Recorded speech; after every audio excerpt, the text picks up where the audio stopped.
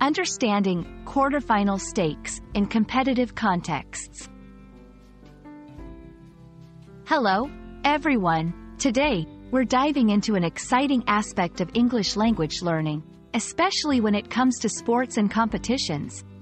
We'll explore what quarterfinal stakes mean and why it's an important concept in various competitive scenarios. So, whether you're a sports fan, love competition shows, or are just curious about English phrases, this video is for you. First, let's dissect quarterfinal stakes. This phrase combines two key terms, quarterfinal and stakes. A quarterfinal is a stage in a tournament. Specifically, it's one of the rounds in a knockout competition where eight competitors or teams battle it out to advance to the next round, which is the semifinals. The term quarter signifies that it's a stage where the competition has been narrowed down to one-fourth of its initial participants. On the other hand, stakes refer to what is at risk or the importance of a particular event. In competitions, stakes can involve prizes, titles, prestige, or the chance to advance further in the tournament. When we talk about quarterfinal stakes, we're discussing what's at risk or the significance of the quarterfinal matches in a competition.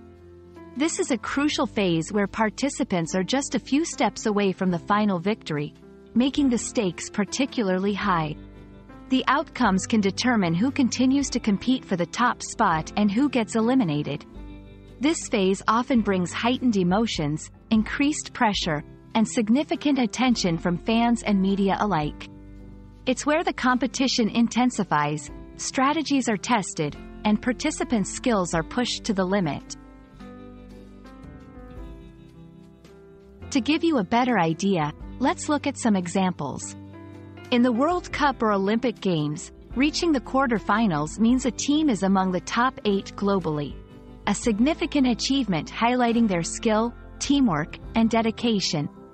In reality TV competitions, like talent or cooking shows, the quarterfinals can determine which contestants have the potential to become stars or top chefs, based on their performances under pressure.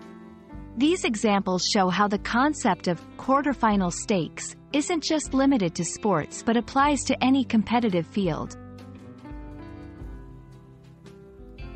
Understanding phrases like quarterfinal stakes not only enriches your English vocabulary but also enhances your appreciation for the drama and excitement of competitive events.